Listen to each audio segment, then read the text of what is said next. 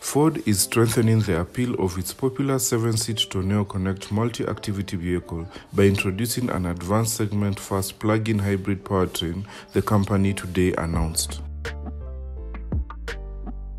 The Tourneo Connect plug-in hybrid PHEV will take Tourneo's Connect's flexibility and versatility to the next level, enabling customers to electrify their driving experience by driving up to a targeted 110 kilometers using pure electric power and drive with zero tailpipe emissions in Europe's growing number of low-emission zones.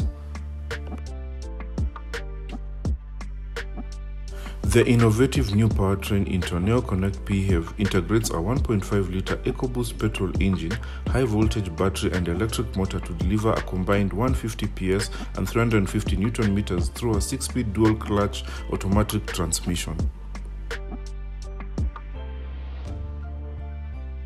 The battery can be fast charged up to 50 kilowatts using DC public chargers on long road trips or fully charged at home using AC charging up to 11 kilowatts.